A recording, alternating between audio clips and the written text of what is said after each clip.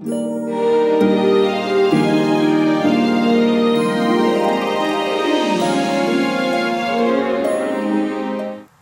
again, and welcome to Henry's Kitchen, where today we're going to be making Grandma's Yogurty Delicious Melons. From salad to salsa to fruit, here are some great refreshing dish ideas that you can make with your sweet succulent melons. We're going to start by cutting our watermelons in half. And we're just going to scoop out all the seeds and all sort of yucky stuff in the middle. You know, in Tanzania, there's a tribe of people called the Maasai, where most of their diet consists of drinking raw animal blood and they live in huts made out of cow shit. What we want to do is we want to strain the water from our yogurt. So I'm just going to put the yogurt on a strainer and let the water drain into the bowl for about 30 minutes.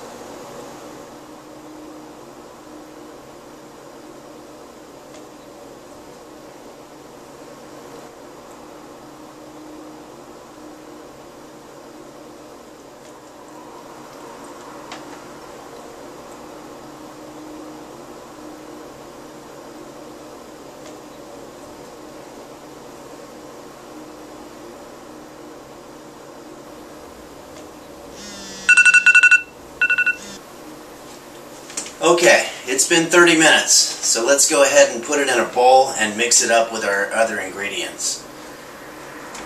Let's take our yogurt and put it in a bowl.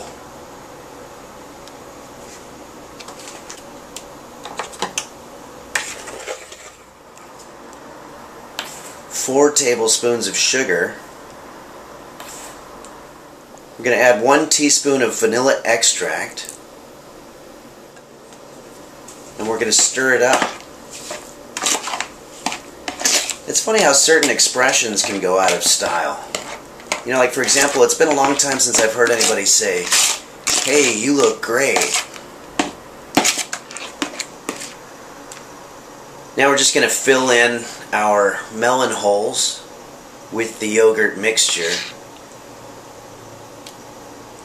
You want to try to keep the yogurt inside the center so you don't fuck up the overall appearance of it.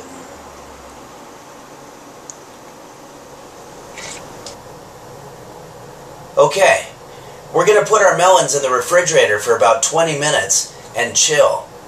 And then when we're done, we're going to enjoy Grandma's yogurty delicious juicy melons.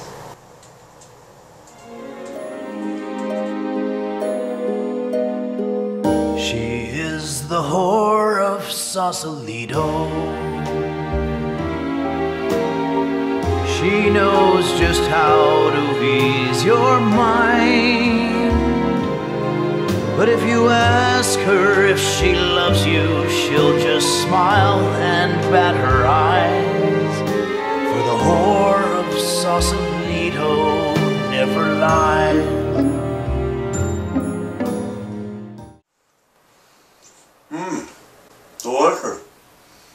Thank you for joining us here in Henry's Kitchen. I'm tuning in next week when we're going to make Henry's Flambe Banana Cakes. Mmm. Mmm. She will smack you like a mule. And if you hail from San Jose, she'll do the same.